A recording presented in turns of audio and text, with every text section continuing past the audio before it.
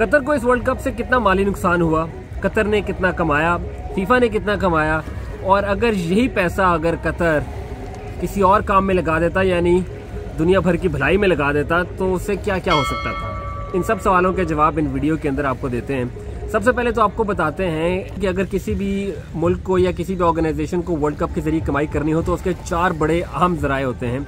वो अहम जराए कौन से हैं? सबसे पहले तो जो इकॉनमी को फ़ायदा होता है, इससे ज़्यादा शायकीन आते हैं आपकी इकॉनमी के ऊपर दुनिया भर की नज़र पड़ती है, वो सबसे बड़ा जो है वो फ़ायदा होता है। उसके बाद जो नशरियाती हकूक होते हैं मैचेस के, क्योंकि पाँच अरब के करीब जो है दुनिया भर की आबादी इसको देखती है। दुनिया की आप टोटल आबादी देखें तो वो तकरीबन आठ अरब है, और उसमें से पाँच अरब ये वर्ल्ड कप देखती है। सो पाँच अरब के करीब जो लोग ये मैच देखते हैं, वो टी पर ही देखते हैं ऑब्वियसली उनमें से ज़्यादातर तो वो नशरियाती हकूक हैं उनसे जो है वो आ, कमाई होती है।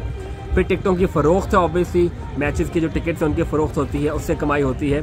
फिर आखिर में स्पॉन्सरशिप्स जो होती हैं फीफा की मुख्तलिफ़ स्पॉन्सरशिप्स होती हैं आपने मुख्तलिफ़ स्पॉन्सर देखे होंगे मैचेस के दौरान ग्राउंड के दौरान उनसे कमाई की जाती है। अब ये चार अहम ज़राए हैं इन चार अहम ज़राए को जो है वो डिवाइड किया जाता है फीफा और जो मुल्क जो ऑर्गेनाइज कर रहा है इस वर्ल्ड कप को उसके दरमियान।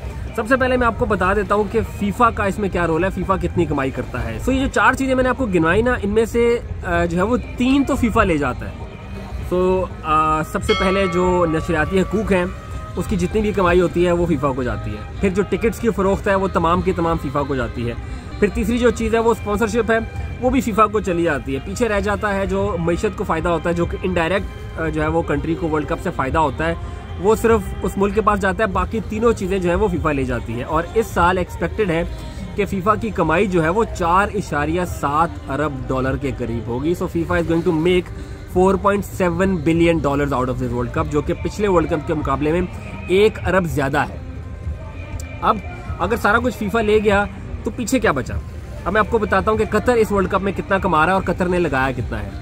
पहले मैं आपको कतर का जो खर्च है वो मैं आपको बता देता हूँ। सो कतर ने इस वर्ल्ड कप के ऊपर जो पैसा लगाया है, वो 220 से लेकर 230 अरब डॉलर के करीब है। और ये जो पैसा है, ये मुख्तलिफ़ चीज़ों में लगा है। मोस्टली जो इंफ्रास्ट्रक्चर के प्रोजेक्ट्स हैं, उनमें ही तमाम का तमाम पैसा लगा है।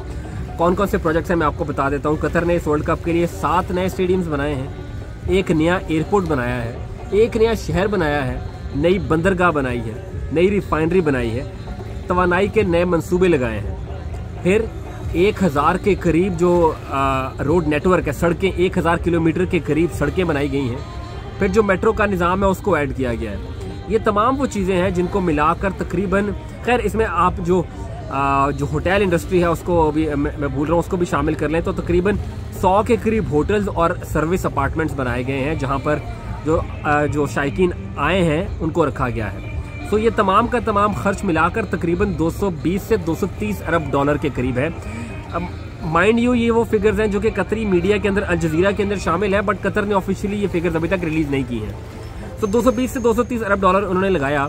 तो अब उस पर कमाएँगे कितना? कतर की की तरफ़ से अपने आदाद शुमार जो शुरू में जारी किए गए थे, वो ये थे कि कतर इस वर्ल्ड कप से जो कतर की इकॉनमी को फ़ायदा होगा, वो 20 अरब डॉलर के करीब है। मगर अब उस एस्टिमेट को कम करके तीन अरब डॉलर कम कर दिए गए हैं वो है सत्रह अरब डॉलर तो कतर को इस वर्ल्ड कप से अपनी मीशत को सत्रह अरब डॉलर का फ़ायदा हासिल होगा। 220 अरब डॉलर लगाकर 17 अरब डॉलर का फ़ायदा। मैं ये भी बता दूँ कि फीफा जो है वो एक अशारिया तीन अरब डॉलर कतर को भी देगा जो इस वर्ल्ड कप के अखराज के, के हैं। वो फीफा कतर को रीइम्बर्स करेगा और उसकी जो वैल्यू है, वो 1.7 बिलियन डॉलर बनती है, मगर उसमें से 440 मिलियन डॉलर वो भी हैं जो कि जो इस टूर्नामेंट के विनर्स हैं, उनके अंदर जो पैसे तकसीम होंगे वो हैं। सो पीछे बच जाता है अराउंड 1.3 बिलियन डॉलर जो कि कतर को फीफा की तरफ़ से मिलेगा। कतर जो शायकीन से पैसा कमा रहा है, उसमें भी कतर को थोड़ा सा नुकसान हो रहा है। सो फॉर एग्ज़ाम्पल यहाँ पे अकोमोडेशन के पैसे तो चार जो है वो चार्ज कर रहा है। जो होटल्स वगैरह यहाँ पर बनाए गए हैं अपार्टमेंट्स वगैरह बनाए गए हैं वहाँ से दुनिया भर से तकरीबन दस लाख के करीब शायकीन आएँगे यहाँ पर रहेंगे। वो पैसा तमाम कतर की इकानमी में ही जाएगा मगर कतर ने इनके ऊपर कुछ छूट भी दे रखी है।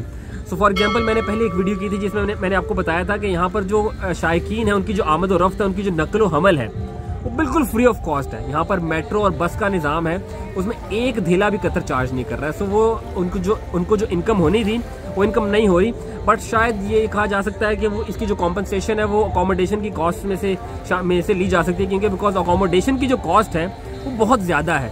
सो so, शायद उसमें उन्होंने इसको कॉम्पनसेट कर लिया है। बट स्टिल फिर इसके बाद कतर ने फीफा को बहुत ज़्यादा टैक्स छूट भी दी है इस वर्ल्ड कप के अंदर। उसकी तादाद उसकी जो टोटल अमाउंट है वो हमें हमें नहीं मालूम बट मैं आप आप उससे अंदाज़ा लगा सकते हैं कि जब 2006 के अंदर जर्मनी ने बिड किया था फीफा वर्ल्ड कप के लिए तो उसने दो सौ बहत्तर मिलियन डॉलर के करीब जो है वो फीफा को टैक्स छूट दी थी। सो अब उस टाइम से अब इस टाइम का अंदाज़ा लगा लें कतर ने फीफा को कितनी टैक्स छूट दी होगी। और ये खैर ये हर मुल्क के लिए ज़रूरी होता है। जो भी वर्ल्ड कप का इनका कर रहा होता है वो फीफा को टैक्स छूट यहाँ पर प्रोवाइड करता ही करता है। सो so, कतर को इस वर्ल्ड कप से फिर क्या मिला? ये तो जो है वो घाटे का सौदा लगता है। आपको बताते हैं कि कतर को इस वर्ल्ड कप से क्या मिला। ये सब बातें जो मैं आपको बता रहा हूँ वो कतर को को भी मालूम होंगी जब इन्होंने बिट किया होगा। उन्हें पता था कि ये घाटे का सौदा होगा। सो कतर का जो फ़ायदा है इस वर्ल्ड कप के अंदर, वो एक तो अगर उनका ऑब्जेक्टिव देखा जाए, वो सॉफ्ट पावर का है। कतर चाहता है कि दुनिया भर के अंदर उसका जो इम्प्रेशन है, वो एक एक एज अ मॉडरेट एक अच्छे मुल्क के तौर पर है। दुनिया जो है वो कतर को जाने, पहचाने कतर में आकर इन्वेस्टमेंट करे कतर एक ट्रांसपोर्ट का हब बने। और ये एक सबसे अहम ऑब्जेक्टिव था इस वर्ल्ड कप को करवाने का।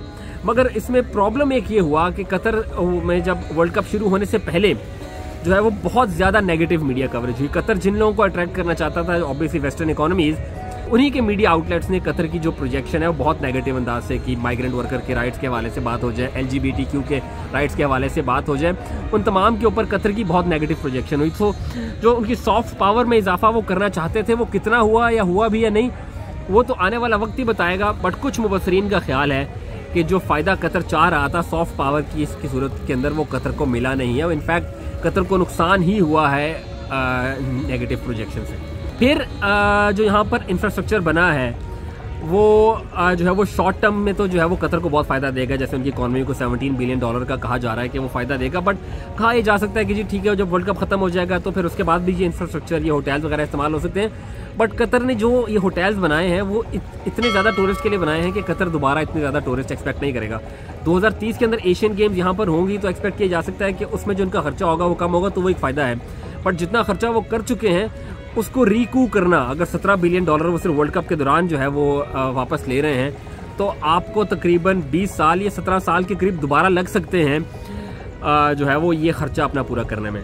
तो कतर को जो माली फ़ायदा है ना वो तो बिल्कुल भी नहीं है यहाँ पर। जो ये बात करते हैं कि कतर जो है वो ओवर द ईयर्स अपनी इकॉनमी को फैला देगा। एक्सपेक्टेशन यही है कि कतर ने अपनी इकॉनमी को टेस्ट किया है, बाद में जाके वो एक्सपेंड भी कर सकते हैं। बट आईएमएफ की जो है वो प्रोजेक्शन के मुताबिक 2027 में कतर की जो आबादी है, उसमें एक इशारे दो फ़ीसद कमी आएगी, जिससे उनकी आबादी जो है वो ढाई जो है वो पच्चीस लाख के करीब रह जाएगी। सो अगर कतर ये एक्सपेक्ट कर रहा है कि उसकी इकॉनमी ग्रो करेगी तो उनकी आबादी श्रिंक कर रही है। सो ये एक अनोमली है जिसको कतर को देखना है। कतर कितना फ़ायदा ऐसे उठा सकता है, ये भी आने वाले दिन में पता चलेगा।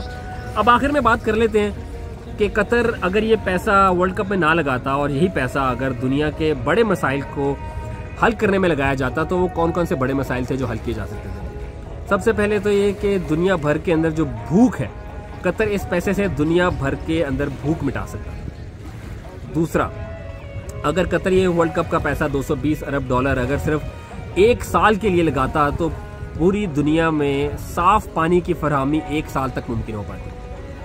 खातन की एजुकेशन, बच्चियों की एजुकेशन, पूरी दुनिया की की बच्चियों की एजुकेशन, जिनको एजुकेशन नहीं मिल रही, कतर इस पैसे से उन्हें प्रोवाइड कर सकता आखिर में, एशिया के अंदर सत्तर फ़ीसद एशिया को साफ़ तोानाई फ्राहम की जा सकती थी इस पैसे से। तो ये वो बहुत बड़े मसाइल हैं जो कि बहुत बड़े चैलेंजेस हैं। जो कि दुनिया को दरपेश हैं और यही पैसा अगर वहाँ पर लगता तो ये मसाइल हल हो सकते थे। अब कहा जा सकता है कि जी कतर को वर्ल्ड कप कराना चाहिए था तो उन्हें पैसा ऑब्वियसली यहाँ पर लगाना चाहिए था। मगर एक आर्गूमेंट ये भी है कि जो कतर से पहले जिन ममालिक ने वर्ल्ड कप होस्ट किया, उसमें सबसे ज़्यादा अमाउंट जो है वो पंद्रह अरब डॉलर लगाई गई, जो कि रशिया और ब्राज़ील ने ऑलमोस्ट इतने ही लगाए। तो उन्होंने अपने जो है वो ऑर्गेनाइजेशन के अंदर पंद्रह अरब डॉलर लगाए। और कतर ने 220 से 230 और कहा जा रहा है कि 1900 1990 से लेकर अब तक जितने वर्ल्ड कप हुए हैं, उन तमाम के अखराज को अगर जमा किया जाए तो फिर भी वो कतर से आठ गुना कम हैं।